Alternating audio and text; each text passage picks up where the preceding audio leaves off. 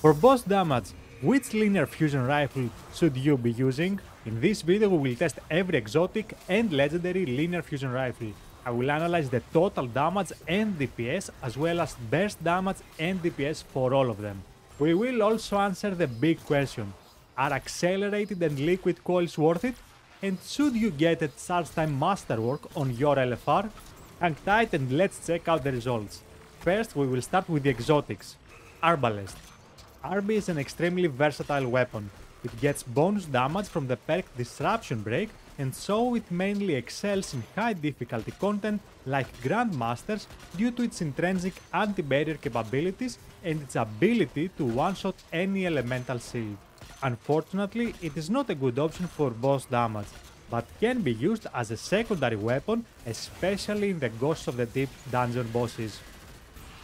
Lorentz Driver Lorenzo was a pain point in the Crucible, and IMO it still can be oppressive in a good player's hands.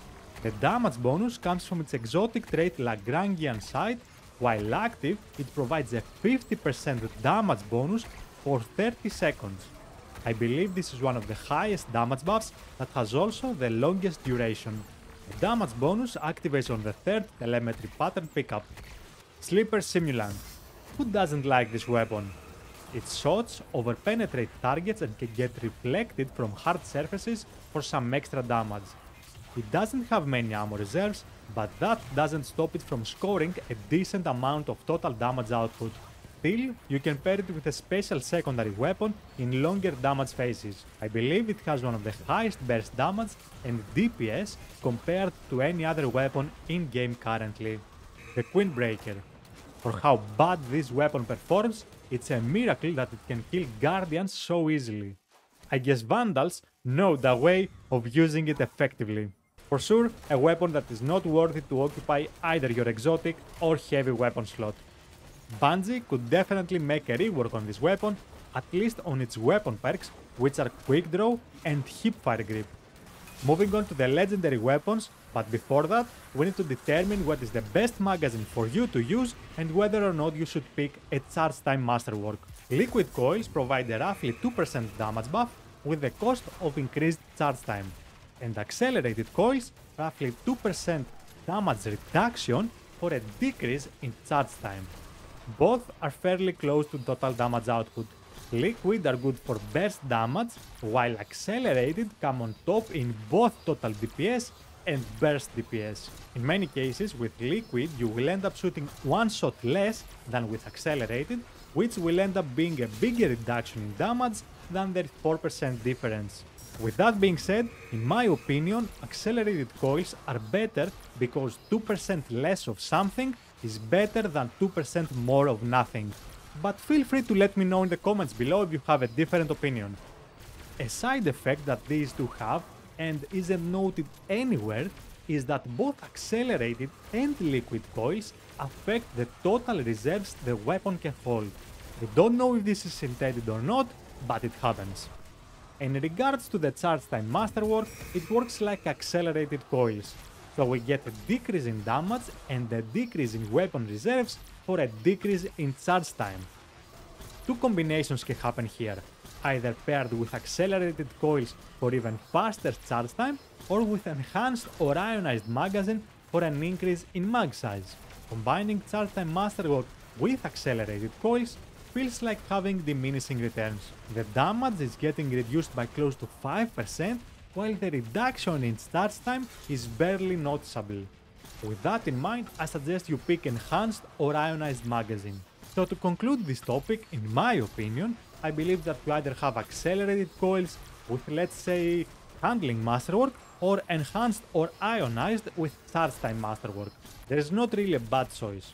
Basically, don't choose a perk that will cack one of your weapon traits or choose a perk that will boost one of your weapon traits. For example, on my Cataclysmic, because it rolls with 4 times the charm, in order to get the most out of the perk, I need a mag size of 6.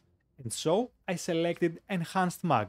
And because I need to swap through all my weapons in quick succession to trigger bait and switch, I chose handling as the masterwork. Speaking of which, Cataclysmic is considered one of the best linears out there because 4 times the charm gives the weapon sustained fire and free ammo, and on the other hand, Bait and Switch, one of the highest damage perks, gives a 35% damage increase.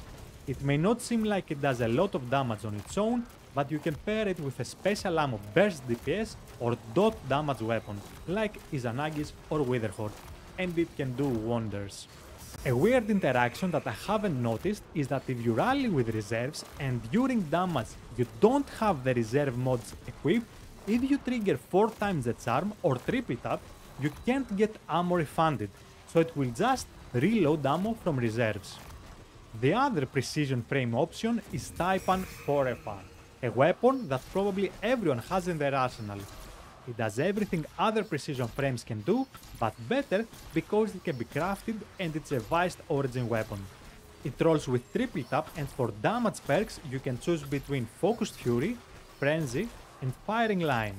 Frenzy gives a 15% damage increase, but you need to have it active before the damage phase starts. Focused Fury is a 20% damage increase after you score half the mag size as precision hits. In this case, 3 shots. In total damage, it doesn't do much better than Frenzy because of the 3 first shots fired at base damage. Firing Line is a fireteam based perk, when active it provides a 20% precision damage increase. It's like Focused Fury, but 3 shots better I guess. Overall, Firing Line is the best option here, but in most cases, Frenzy will do just fine. I also included Sailspine in the test as a reference point of a weapon that doesn't refund ammo during damage. That concludes the precision frames, so let's move to aggressives. Compared to precision frames, aggressive frames do more damage but are harder to control due to the recoil of their 3 burst shot. They excel in bosses with huge crit spots or as every other weapon a divinity bubble. The best pick here is Briar's Contempt, it has a variety of perk combinations with Rewind rounds and Frenzy, Focused Fury or Surrounded as damage perks. Frenzy and Focused Fury have the same results as with Taipan earlier. The most interesting of them is certainly Enhanced Surrounded with a 47% damage buff. It needs some coordination and or setup to keep it active, but oh boy when you do. Its origin trait also provides additional damage against Hive Guardians and Tormentors. Ghosts of the Deep dungeon bosses are considered Hive Guardians and Nezarec is considered to be a Tormentor.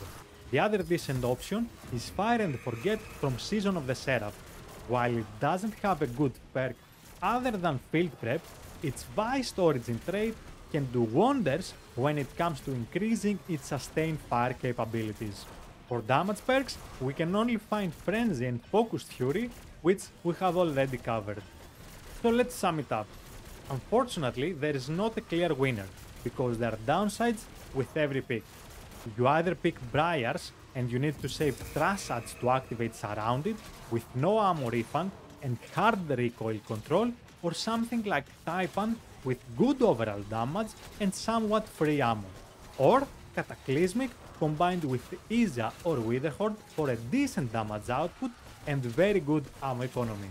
Personally, I use Taipan for everyday activities like seasonal and stuff, and if I had to for boss damage, I would prefer to use Cataclysmic with Iza or Witherhoard. What is your pick? Do you actively use any of these weapons? Let me know in the comments what your thoughts are.